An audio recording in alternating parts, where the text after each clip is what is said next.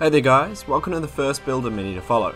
Today I'm going to take you all on a journey to see the steps I take to create the absolute pinnacle of every respective build there is, in the shortest amount of time possible and to ever be recorded.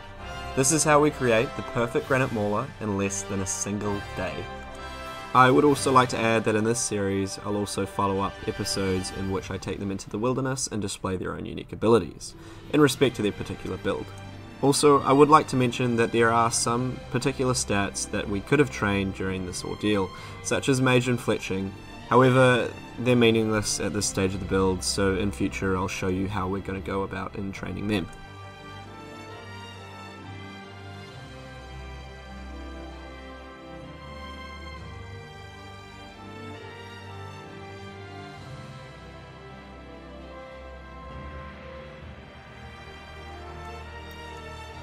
There we are lads, it took us nothing but 5 minutes to get into the RFD cutscene.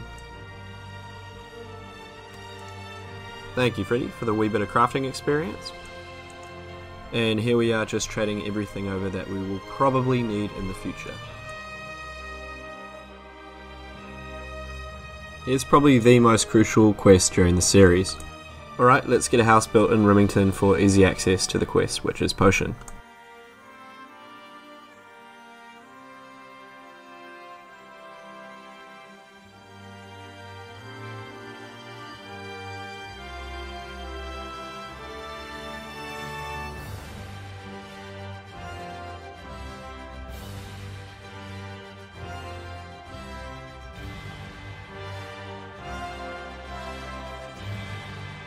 Enchantment spells, here we come.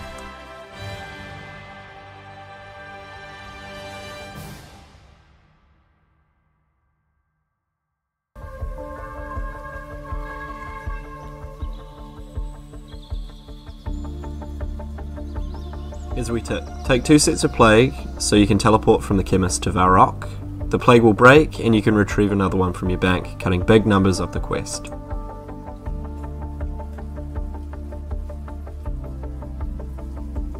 Lot of quests in RS can be done in conjunction with one another, and it basically means that my main is always going to be tailing me with all the supplies saving me a trip to and from the bank, cutting an amazing amount of time off the build.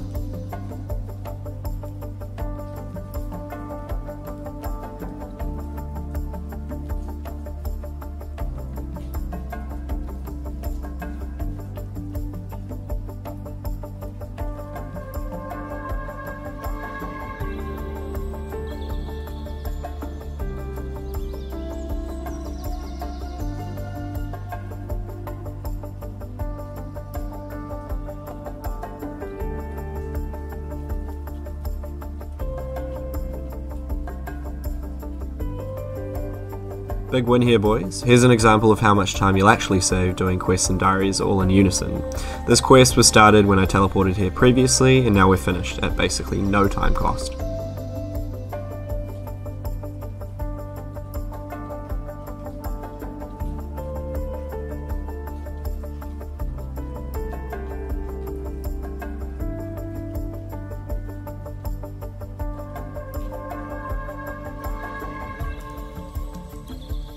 Finally, the combat begins.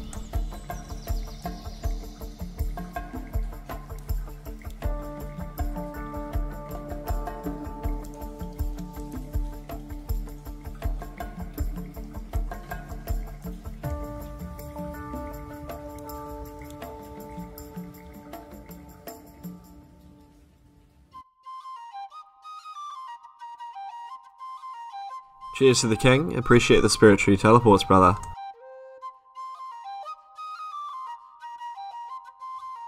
Here we're getting all the quests out of the way that grant thieving XP, so we should get about 23 thieving, leaving us with only 2 levels to train.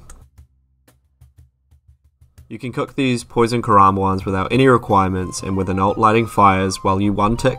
This is the absolute fastest low level cooking method. We'll do this to about 40 cooking and we'll finish the rest off through quests. If you guys are interested in a raw, uncut version of a Myth Glove speedrun as opposed to an entire build, let me know and I'll get onto it.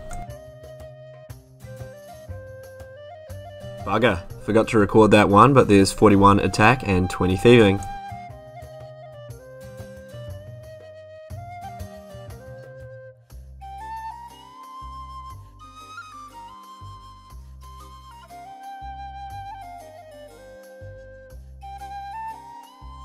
26 agility, that's going to help us around the game and get us closer to Horror from the Deep.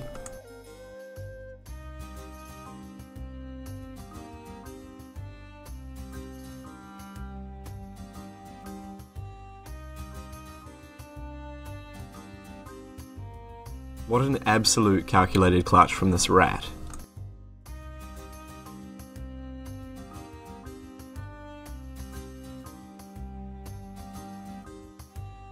Perfect, that's 44 attack and 32 agility. With a boost, we can get onto Horror from the Deep.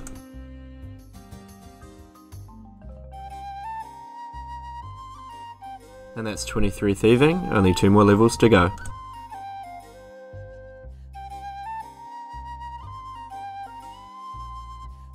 Take a gander at this fella. Auto-clicking the pipe, you only get 10 experience every time you go through that. Well, alright, fair enough.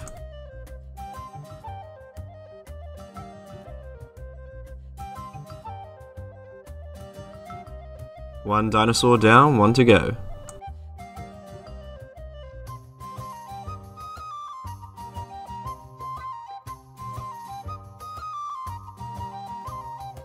Wonderful, that's 20 range. Few more bits and bobs and we'll be on to range training.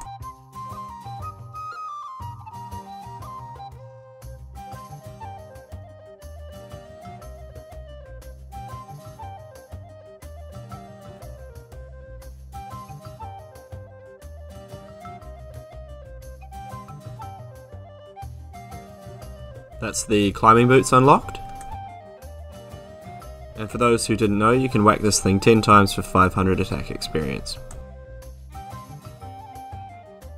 Alright, let's turn this kitten into a cat while we get 60 range. Firstly, I'd like to say well done to Nocturnal RS for finding this spot post-patch. It really is one of the best places to train. It's cool that someone went out of their way to find something like this, as I used to utilise this spot before the Zaya rework, and did some research into some other spots like this. Using this cannon spot, you can expect up to around 50 to 55k experience per hour, with absolutely no crashes, unlike ogres which are packed at all times. Right, with a completion of 60 range, we'll move on to Recipe for Disaster.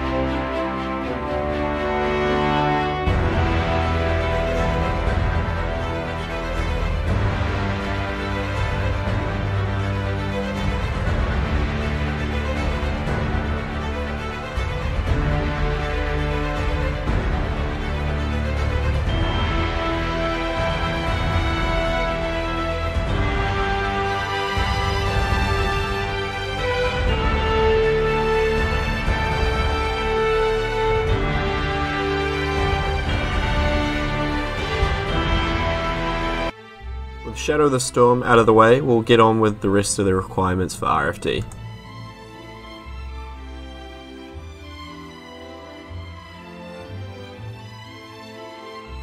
I've just picked up an extra rock cape during the quest as I'll use it for the fire cape that's up and coming.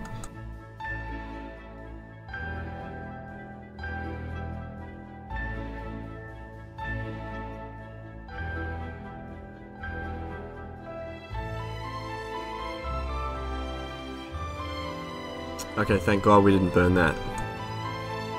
By the way guys, if any of you are interested in checking out our clan chat and you have a build ranging from a Skiller all the way to the likes of a Pure or Zerker, come check us out at Limited CC.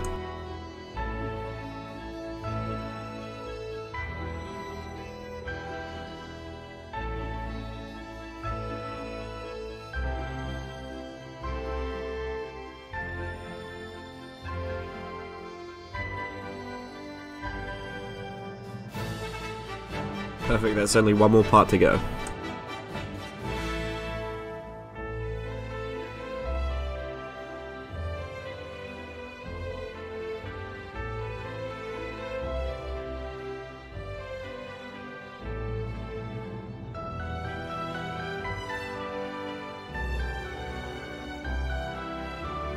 And finally, after multi-questing and training stats during and through quests, we've finally completed Mithril Gloves, alongside all other prominent quests needed to create the perfect Granite Mauler build. At this stage, everything was ready, and all I needed to do now was get 65 range for the third age bow, which is the best offensive bonus weapon needed for the fight caves at such a low combat level. This particular spot seemed to work out well for me until I ran into the problem of the bandit that spawns under me, which gives all the other NPCs with the same identification the ability to aggro me, which isn't the greatest idea with the amount of risk that I had in shins on me. With a little poking around, I came up with a spot which completely blocks all NPCs while aggroing completely towards my main with vestment gear on. You can gain up to a whopping 90 to 110k per hour here at such a low range level, which would more or less be the same experience per hour as skeletal monkeys, all without the requirements to get there in the first place. And there we go lads, 65 range and 45 HP. I reckon it's time to tackle the infamous fight caves.